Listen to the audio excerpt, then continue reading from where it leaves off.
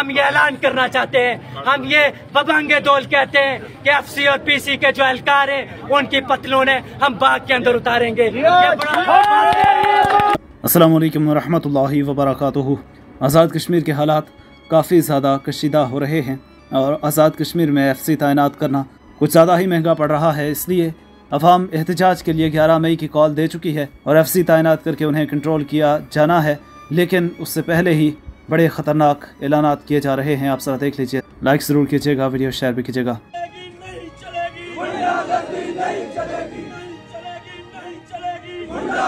नहीं चलेगी।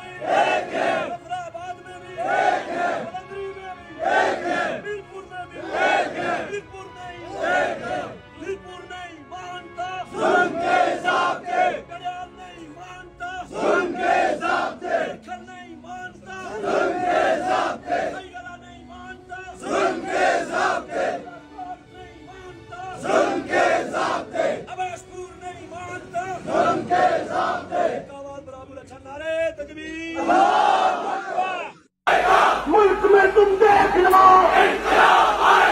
गलियों से, बाजारों से, खेलों के मैदानों से, मस्जिद की महराबों से आंधी में तूफानों में, बारिश में, बरसातों में।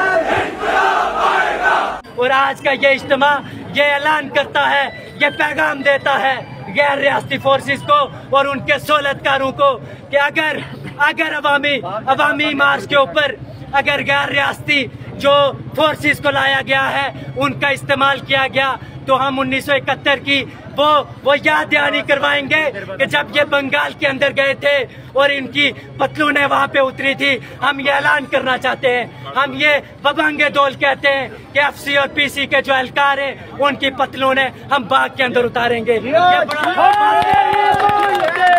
हम ये एक हम नहीं मानते के कश्मीरी नहीं मानते।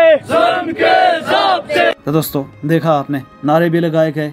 तकारीर में यह भी कहा गया कि पतलू ने आपकी शायद वापस आपके साथ ना जाए, इसलिए एफ़ सी यहाँ मत भेजिएगा। एफ़ सी वालों को कहा गया कि यहाँ मत आइएगा।